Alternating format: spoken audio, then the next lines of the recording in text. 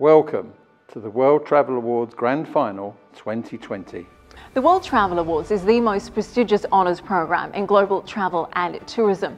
And today we will reveal our world winners, the highest accolades in the World Travel Awards program. Over the course of the year, you have been voting in record numbers for your favourite travel products and brands. The 2020 voting window has now closed. The votes have been counted and the winners decided for the 27th annual World Travel Awards. And now, let us find out who the winners are.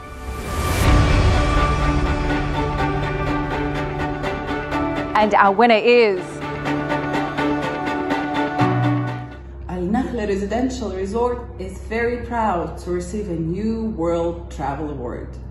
Being recognized as the leading residential resort of the world means a lot to us all our people are very motivated and willing to work even harder and more efficient to achieve further and better the next year. I'm sure also our residents and guests will be very pleased to know that they are staying in the leading residential resort. Thank you very much. Congratulations to our World Travel Awards Grand Final winner for 2020.